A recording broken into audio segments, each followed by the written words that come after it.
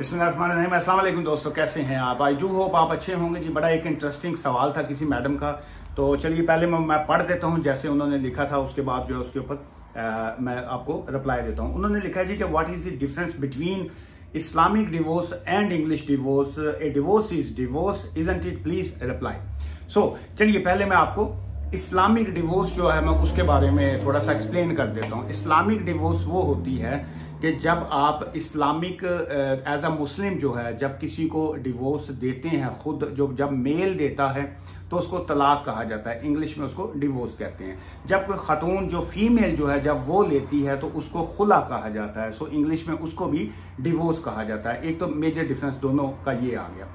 फिर ये, चूँकि हम यूके में हैं इस वक्त तो इंग्लैंड की अगर हम बात करें तो यहाँ पे इस्लामिक निकाह या इस्लामिक मैरिज या इस्लामिक डिवोर्स जो होती है, खुला हो या डिवोर्स तलाक हो उसको इंग्लिश कोर्स जो हैं वो इमिग्रेशन के पर्पज से या मुख्तलिफ़ और कंडीशन में जो है वो उसको एक्सेप्ट नहीं करता। वो ये समझते हैं कि यहाँ पे डिफरेंट नेशनैलिटीज के लोग यहाँ पे रहते हैं डिफरेंट रिलीजन के यहाँ पे लोग यहाँ पे रहते हैं, यहाँ पे हिंदू भी रहते हैं, सिख भी रहते हैं, मुस्लिम भी रहते हैं ज्यूश भी हैं सो डिफरेंट यहाँ पे हैं। सो हर एक का एक अपना रिलीजियस मैटर है। कि वो अपने रिलीजियस के मुताबिक आज़ादी है उनको। वो चाहे अपने रिलीजियस के मुताबिक शादी करें या किसी के को डिवोर्स करें सो उनका वो पर्सनल मैटर है। चूँकि इंग्लैंड का यूके का अपना एक कानून है जो, जो उसमें यह है कि अगर कोई शख्स जो है किसी को डिवोर्स देना चाहता है या कोई किसी से डिवोर्स लेना चाहता है तो उसके लिए यह है कि फिर उनको कोर्ट में जाना पड़ता है और वो कोर्ट से जो है वो डिवोर्स लेते हैं। सो मेजर डिफरेंस तो ये इसका आ गया कि इस्लामिक डिवोर्स में और इंग्लिश डिवोर्स में क्या फ़र्क है? और ये जो सेकंड आपकी लाइन थी divorce divorce is divorce is it हाँ इसमें कोई शक नहीं है जी, तलाक तो तलाक है। वो पाकिस्तान के एक मिनिस्टर थे, उन्होंने कहा था कि जी डिग्री तो डिग्री होंगी है भावें असली हो तो भावें जाली हो सो so, डिवोर्स तो वाकई डिवोर्स है लेकिन उसका डिफरेंस ये आ जाता है कि लेट से अगर आप ने यूके में बैठ के अगर आप ऑलरेडी मैरिड हैं आपने उसके बाद डिवोर्स ले ली उसके बाद वो इस्लामिक डिवोर्स है अब आप ये कह रही हैं जी के या कह रहे हैं जी के हमने पाकिस्तान से या किसी और जगह से जो है वो स्पाउस का वीज़ा अप्लाई करना है, शादी करके अपने जो है न्यू स्पाउस को लेके आना है तो वहाँ पे डिफरेंस ये आ जाता है कि आपकी इस्लामिक डिवोर्स की बेस के ऊपर वो आपको स्पाउस का वीज़ा वो इशू नहीं करेंगे। वो कहेंगे कि जी कि आप अपनी इंग्लिश डिवोर्स जो है, उसकी कॉपी जो है वो साथ में अटैच करें। इंग्लिश डिवोर्स जो है, वो मस्ट हो जाती है इस सेंस में जो है। सो ये बात चीज़ें होती हैं लेट से अगर किसी की यूके के अंदर ही शादी हुई और वहीं पे जो है वो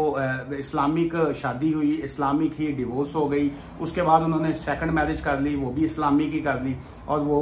वो चल रही है या उसको उसकी भी डिवोर्स हो गई। सो so, उसमें चूँकि इमिग्रेशन इन्वॉल्व नहीं है सो so, इसलिए जो है वो वो बिल्कुल तलाक तलाक ही है चाहे वो जिस सेंस में भी है। लेकिन अगर हम उसको इमिग्रेशन रूल्स के हवाले से देखेंगे तो फिर वो एक्सेप्टेबल उस, वो नहीं करते। वो कहते हैं जी कि आप मस्ट भी जो है वो इंग्लिश डिवोर्स लेके आए। चूँकि एक तो ऑब्वियसली इंग्लिश डिवोर्स का जो एक सिस्टम होता है, वो एक प्रॉपर लीगलाइज सिस्टम है इनका। ऑब्वियसली टाइम भी लगता है, आजकल तकरीबन एक साल प्लस जो है वो लग जाता है। और सेकंड ये है कि अगर इसी तरह इस्लामिक तौर पे लोग शादी करके किसी को ले आए यहाँ पे एज ए इमिग्रेशन की बात करें तो उसके बाद उनको डिवोर्स कर लें, यहीं पे बैठे बैठे खुद से जो है, तलाक तलाक करके तलाक देती उसके बाद जो है, वो कहते हैं, जी, अब हम दोबारा शादी कर लेते हैं, फिर वो इस्लामिक मैरिज तो इतने तो मुसलमानों ने तो अपना अन्नी पा देनी उन्होंने तो चार चार ब्याह कर लेने।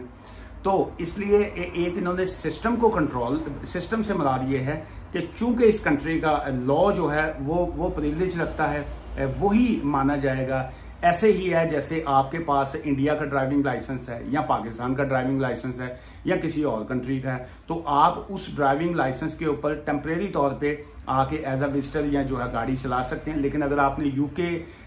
में रहते हुए परमानेंट गाड़ी चलानी तो आपको डीवीएलए का या यूके बेस्ड ड्राइविंग लाइसेंस जो है वो लेना पड़ता है। लेकिन आप जिस भी लाइसेंस के ऊपर गाड़ी चलाएँगे, आपको कानून इनके फॉलो करने पड़ेंगे। आप ये नहीं कह सकते जी के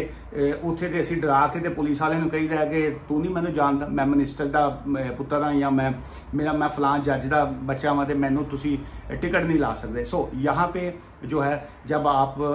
आपको फाइन होना है तो होना ही होना है डजेंट मैटर कि आप कौन है सो जिस कंट्री में इंसान रहता है उसका जो कानून होता है जो नेशनल लॉ जिसको कहा जाता है वो एप्लीकेबल होता है रेलिवेंट सेक्टर के ऊपर और बाकी चीजें जो होती हैं वो आपका रिलीजियस मैटर्स आ जाते हैं या बाकी चीज़ें जो और आ जाती हैं। सो आई डू होप कि आपको ये इस्लामिक डिवोर्स और जो इंग्लिश डिवोर्स है उसका थोड़ा सा मैं फ़र्क बता सका। और इसमें इंग्लिश डिवोर्स हम इसलिए कह देते हैं कि चूँकि हम इधर इस वक्त इंग्लैंड में हैं सो इसलिए यहाँ पे इंग्लिश डिवोर्स का वर्ड यूज़ कर लेते हैं। जो स्कॉटलैंड में है वो बात कर वो स्कॉटिश डिवोर्स कह लेते हैं। इटालियन जो इटली में रहते हैं वो कहते हैं जी के इटालियन कोर्ट की डिवोर्स है। ये जी मेरी इटालियन मैरिज हुई हुई है या मेरी इटालियन डिवोर्स है। स्पेन में रहने वाले वो कहते हैं जी ये हमारी स्पेनिश शादी है। अब वो टेक्निकली शादी तो वो शादी तो शादी होती है, लेकिन वो कहते हैं जी कि हमारी स्पेनिश शादी है। तो अगर वहाँ की कोर्ट से वो डिवोर्स लेते हैं तो कहते हैं स्पेनिश डिवोर्स है। सो so, टेक्निकली ये वर्ड्स का डिफरेंस आ जाता है लेकिन जो मेजर डिफरेंस है वो यही है कि इसमें इमिग्रेशन के पर्पज के हवाले से ये आ जाता है। और इसी से रिलेटेड एक और भी किसी दिन किसी ने हमारी मेरे ख्याल है वो चूँकि हम लोग ब्रैडफर्ड से जो बारी लॉ एसोसिएट है हम ये जो इस्लामिक डिवोर्स या इस्लामिक खुला जो है उसकी भी सर्विसेज़ प्रोवाइड करते हैं with the association of sharia council जो है तो वहाँ पे किसी ने पूछा हुआ था जी कि शादी तो मेरी मैरिज तो मेरी पाकिस्तान में हुई है और उसके बाद मैं स्पाउस का मुझे वीज़ा मिला, मैं यूके में आ गया। मैंने तो यहाँ पे मैरिज को रजिस्टर्ड ही नहीं करवाया। तो मैं अब मैं सेकंड मैरिज अगर करूँगा तो मेरी तो यहाँ पे मैरिज है ही नहीं तो मैं इंग्लिश डिवोर्स जो है वो क्यों लू? तो उस, उसका भी मैं यहाँ पे, चूँकि इस वीडियो में थोड़ा सा और मैं एक्सप्लेन कर सकता हूँ। कि जिस वक्त आप पाकिस्तान में शादी करते हैं, जो इस्लामिक मैरिज आपकी होती है, वहाँ पे भी आप कोई मौलवी को बैठा के खाली निकाह निकाह आपने किया हो और वो आपको निकाह का, निकाह नमा खाली मिला हो तो उसकी भी इसके ऊपर भी वो इमिग्रेशन वाले आपका वीज़ा नहीं लगाते हैं। वो कहते हैं, जी, आप ऑफिशियल डॉक्यूमेंट्स प्रोवाइड कीजिए, जो इशूड बाय नादरा हो, जो इशूड बाय यूनियन काउंसिल हो जिसपे गवर्नमेंट ऑफ़ हुकूमत पाकिस्तान का लोगो लगा होता है, जहाँ पे वो बाकायदा वो एक ऑफिशियल डॉक्यूमेंट्स आता है। सो उसकी बेस के ऊपर जब आपको यूके का स्पाउस वीज़ा जब मिलता है तो ऑटोमेटिकली जो है वो यूके में आपकी मैरिज को रजिस्टर्ड कंसिडर किया जाता है। द रीजन इज़ चूँकि जो यूके का जो अम्बेसी होती है ब्रिटिश हाई कमीशन जो काम कर रहा होता है वो वीज़ा आपका उन्होंने इशू किया होता है। सो so, इसका मतलब है कि टेक्निकली तौर पे आपकी मैरिज जो है आपने चाहे आगे नहीं भी रजिस्टर्ड करवाई लेकिन वो फॉर इमिग्रेशन पर्पज जो है वो यहाँ पे रजिस्टर्ड हो जाती है। सो so, इसलिए जब खुदा न खास्ता अगर आपकी उसमें तलाक होती है डिवोर्स होती है सो so उसमें अब ये है कि आपको इंग्लिश डिवोर्स जो है वो फिर लेनी पड़ेगी for going for second marriage जो है। अच्छा बात कर लोग पूछते हैं कि जी के हमारी पाकिस्तान में मैरिज हो गई, उसके बाद हम यूके में एज अ स्पाउस आ गए, और उसके बाद ये है कि मामला ठीक चल रहे हैं, कोई ऐसा इश्यूज़ नहीं है तो क्या हमें स्टिल जो है यूके में भी मैरिज को अपनी रजिस्टर्ड करवा लेना चाहिए या नहीं? ये एक बड़ा, एक वैलिड एक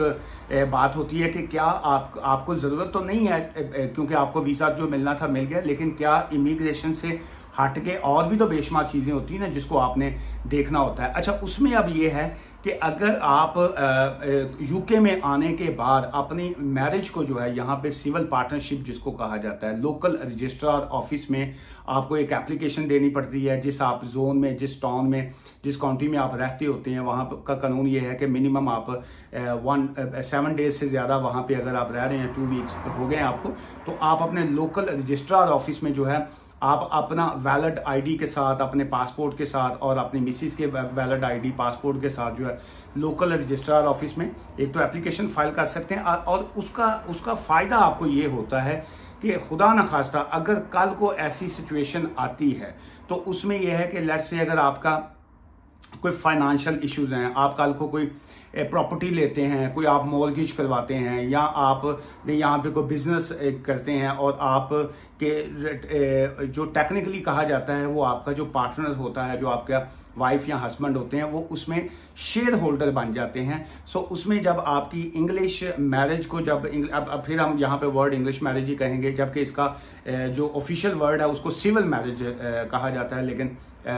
आदत पड़ी होती है इंग्लिश मैरिज कहने की। अच्छा अब वो इंग्लिश मैरिज आपकी रजिस्टर्ड होगी तो इन केस अगर आपके कोई ऐसे इश्यूज़ आते हैं जो फाइनेंशियल इश्यूज़ आते हैं जो मोस्टली वहाँ पे पैदा हैं जब आपकी डिवोर्स की सिचुएशन आती है या आप सेपरेशन ले रहे होते हैं और आप फिर कहते हैं कि जी ये जो हमारे फाइनेंशियल मैटर्स हैं इसको लड़ाई झगड़े के बगैर जो है हम किस तरीके से हल करें? क्योंकि ये ए, पाकिस्तान या अपना कंट्री बैक होम तो है नहीं कि जी के तुम एक दूजे के घर बढ़ जाओगे या पंचायत बैठा लेंगे या कुछ और। खैर यहाँ पर भी ऐसा ऑप्शन होता है आपको मीडिएशन ऑफ़र की जाती है कि you can resolve your issue जो है without going to the court जो है आप आउटसाइड दी कोर्ट जो है स्टिल सेटलमेंट कर सकते हैं मीडिएशन जिसको कहा जाता है। लेकिन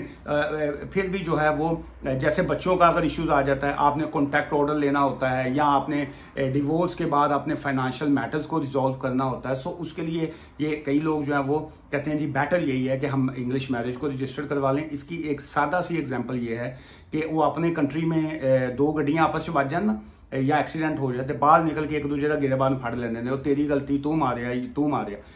तू गड्डी मैनू हिट की थी यहाँ पे इस किस्म का इश्यूज़ तो होता नहीं है सिवाय दो चार जहल लोगों के अलावा। यहाँ पे खुदा न खास्ता, अगर किसी की गाड़ी आपस में हिट होती है तो दोनों बाहर निकल के एक दूसरे को गुड मॉर्निंग या गुड आफ्टरनून करके हेलो हाई करते हैं, पूछते हैं कि तुम सेफ़ हो, मैं सेफ़ हूँ हाँ जी एवरीथिंग इज़ फाइन दोनों की इंश्योरेंस कंपनीज़ होती हैं, एक दूसरे के साथ अपना इंश्योरेंस का कंपनीज़ का जो डेटा है वो शेयर करते हैं और एक दूसरे को बाय बाय करके चले जाते हैं, जी। अच्छा और लड़ाई झगड़े का सवाल ही पैदा नहीं होता। सो इसीलिए हर कानून का फ़ायदा होता है और उसमें डिसएडवांटेज जिसको कहेंगे नुकसान सिर्फ़ उन्हीं लोगों को होता है जो कानून को फॉलो नहीं करते हैं। सो इस ऑलवेज एडवाइस के जी के जो आपके कंट्री का कानून होता है, जो लॉ होता है, आप उसके ऊपर अमल कीजिए। इसी से जो है वो सबकी सेफ्टी और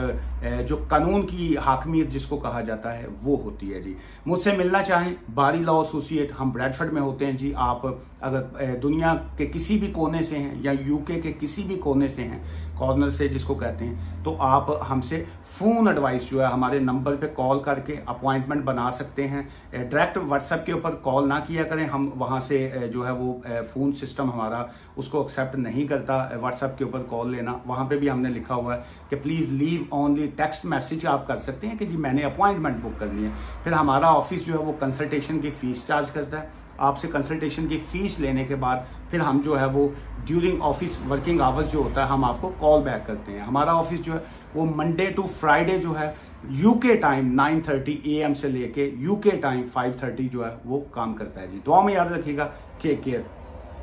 bye for now